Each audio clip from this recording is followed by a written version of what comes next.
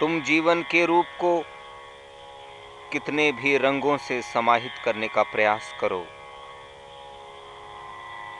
कितने भी रंगों को मिलाने का प्रयास करो।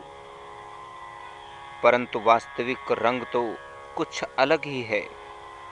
वास्तविक रंग तो कुछ अलग ही अनुभूति देता है, जो निर्मल, पारदर्शी है, वही जीवन का। वास्तविक रंग है बाकी सभी रंग मात्र छलावा रूप हैं।